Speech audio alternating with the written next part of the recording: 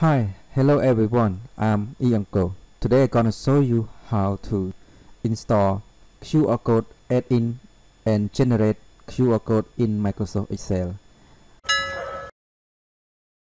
Go to Insert and click on Get Add-in.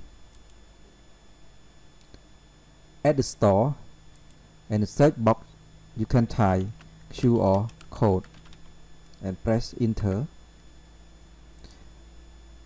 it have a lot of QR code add-in in the store but I recommend you to use QR for Office.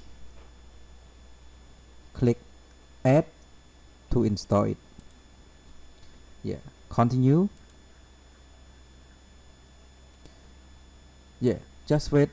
It will show you on the right side of Excel. You can go to insert and click on my add-in. Yeah click on QR code add-in and click on add. Now I show you. This is value box you can pass a value that you want to generate QR code on here. And option color. You can change color of QR code background of QR code. Size of QR code and insert button for insert to cell that you want to generate QR code image. Okay now I show you.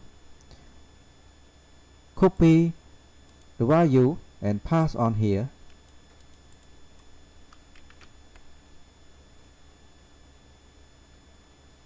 Like this and you can decide or change color that you want.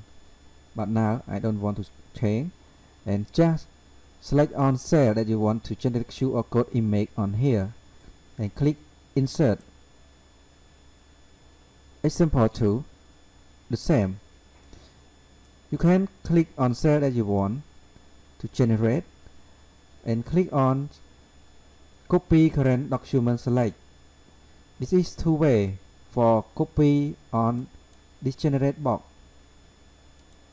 Like this.